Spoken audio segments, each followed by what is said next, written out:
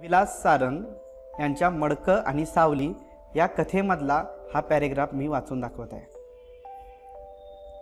जड पायांनी मी घरची वाट धरली. माझं मन निराशेनं काळवंडलं होतं. जड पायांनी मी घरची वाट धरली माझं मन निराशेनं काळवंडलं होतं. परंतु निराशेत मग्न होणंही मला परवडणारं नव्हतं. सावधपणे मला गावातून वाट काढायची होती. आता सूर्यकल्याने माझी सावली बरीच लांब पसरली होती. सावली कुणावर पडू न देता मला वाट काढावी लागणार होती. सावली म्हणजे एक ओझा आहे. असंच मला वाटू लागलं होतं. वाटलं की सावली गुंडाळावी आणि खाऊन टाकावी. सावलीच नको. बिन सावलीचा माणूस म्हणून वावरावं. स्वतःच्या सावलीचीही लाज वाटावी असं काय हे जिनं? मी मनाशी म्हटलं एकाएकी माझ्या पोटात काहीतरी तुटल्यासारखं झालं. माझ्या तोंडाला कोरड पडली होती. तरीही मी एकदम फाडकन गळ्याभोवतीच्या मडक्यात थुंकलो. मग पुन्हा थुंकलो. मग पुन्हा मी थुंकतच राहिलो. माझ्या तोंडात एवढी थुंकी कुठून येते आहे? याचंच मला आश्चर्य वाटलं. हे अद्भुत होतं. जणू माझ्या आतड्याची थुंकी बनत होती.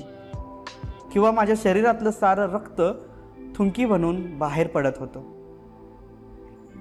गळ्यातलं मडकं थुंकीनं भरून गेलं. मग मी थुंकायचा थांबलो. सकाळच्या प्रहरी ज्यावेळी माणसांनी लगबगीने इकडे तिकडे जावं कामाला जावं अशावेळी माणसं हताशपणे खोपटा खोपटापाशी सावलीला बसलेली होती.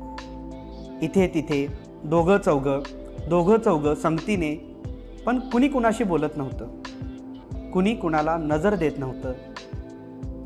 अचानक तो आला. त्यांनी पूर्वी कधी न पाहिलेला परक्या प्रदेशातला एक माणूस. उंचापुरा लांब सडक हातांचा साऱ्या माणसांची नजर त्याच्याकडे वळली. तो जवळ आला त्याच्या चेहऱ्यावर त्याच्या चेहऱ्यावरच्या स्मितामध्ये करुणेपलीकडचा असा एक भाव होता जो माणसांनी आजवर कधी कुणाच्या चेहऱ्यावर पाहिला नव्हता. त्याहून आश्चर्याची गोष्ट म्हणजे सकाळच्या उन्हात त्या उंचापुऱ्या शरीर यष्टीच्या माणसाची तिळभरही सावली जमिनीवर पडलेली नव्हती. त्या माणसाला सावलीच नव्हती. माणसं अचंब्याने उभी राहिली त्याच्या नजीक गोळा लागली. माणसं अचंब्याने उभी राहिली त्याच्या नजीक गोळा झाली. खूप वेळ तो त्यांच्यासमोर उभा राहून बोलला. माणसं एकचित्त ऐकत राहिली. मग तो त्यांच्यापैकी एका दोघांच्या खोपटात गेला. त्याने त्यांचं अन्न आनंदाने खाल्लं.